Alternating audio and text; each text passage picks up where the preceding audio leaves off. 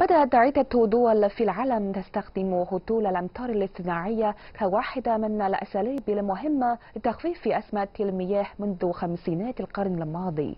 أما في السنوات الأخيرة فقد بدأت بعض الدول مثل الأردن التي تعتبر ثاني أفقر دولة بالمياه في العالم بدأت باستخدام تكنولوجيا الحديثة لهطول الأمطار الاصطناعية.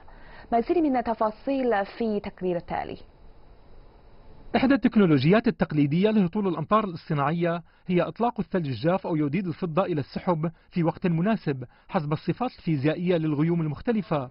أما هطول الأمطار الاصطناعية بتكنولوجيا التأين فهو عبارة عن تغيير تشكيل جزيئات المياه في الغيوم بالأيونات السالبة. تم إطلاق الأيونات السالبة من محطة الإطلاق على الأرض إلى الغيوم لزيادة رطوبة في الهواء وتقوي عملية تكثيف لجزئيات المياه مما يجعلها تكبر تدريجيا. وفي نهاية المطاف تتشكل الأمطار مع تزايد وزن جزئيات المياه من أجل زيادة كمية المياه العذبة فوق سطح الأرض.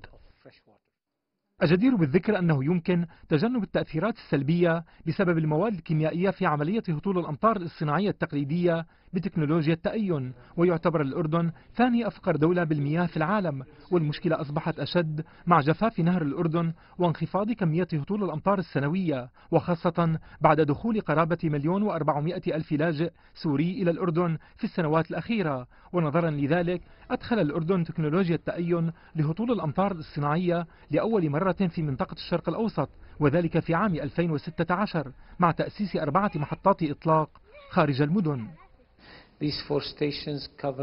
امتدت هذه المحطات الأربعة من الحدود الأردنية السورية في شمال إلى منطقة مطبة في وسط البلد وبلغت المنطقة التحتية قرابة 15 ألف كيلومتر مربع. تقع جميع تلك المحطات على جبال تستقبل الهواء مع رطوبة من البحر الأبيض المتوسط. وتحميل الكهرباء على ارتفاع مناسب للتأين بفضل المواقع الجغرافية للجبال